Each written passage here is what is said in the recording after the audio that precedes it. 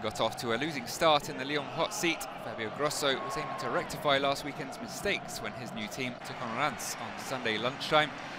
Visitors fell to a 1-0 defeat to table-topping Brest last time out, fallen to the bottom of the pile by the time of kick-off after Clermont snatched an unlikely point against PSG.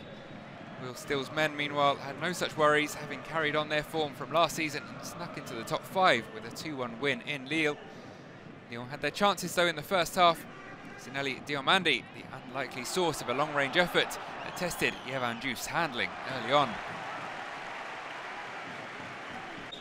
They failed to convert those chances, whereas Reims did not. The Japanese connection flourishing between Junya Ito and Keito Nakamura. It was the former who delivered a fizzing cross which was met by the diving Marshall Munetsi to give the hosts the lead in first half stoppage time. A third headed goal for Munetsi in Ligue 1 Uber this calendar year, and Iloso Penda can boast more. Wonderful cross from Ito, and his sixth assist in 2023, the most by a Reims player. So Reims with the lead at the halfway point, and Whatever Grosso said in his half-time team talk, his side struggled to react after the restart, saw the Italian ring the changes soon after. That had some effect, and Maxence Caqueret's shot from inside the box wasn't too far away from levelling things up. Good power, but too close to. As Reims defended their slender advantage resolutely. Next up, a somewhat unlikely source of goals was 18-year-old fullback Sael Kumbedi, Ball played out to the teenager on the right.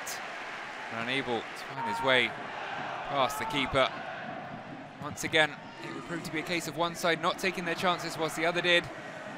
France pressing well, as they had done throughout. Teddy Teuma stealing the ball off Johann Lepenant, whipping across in.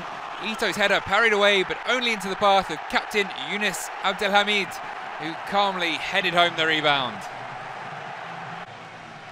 The defender with his second of the season. Really just one shy of his top flight best. It's now 10 of his Ligue 1 Uber Eats goals that have come via his head.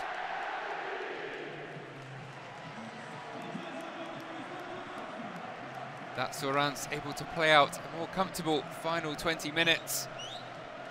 And they came closer to extending the deficit than OL did to halving it. Lackadaisical from Diomande Ito looking for yet another assist, but Mohamed Daramy just about denied. Either way, a comfortable 2-0 win for Will Still's side, who still continue to climb the table, now into the Champions League spots.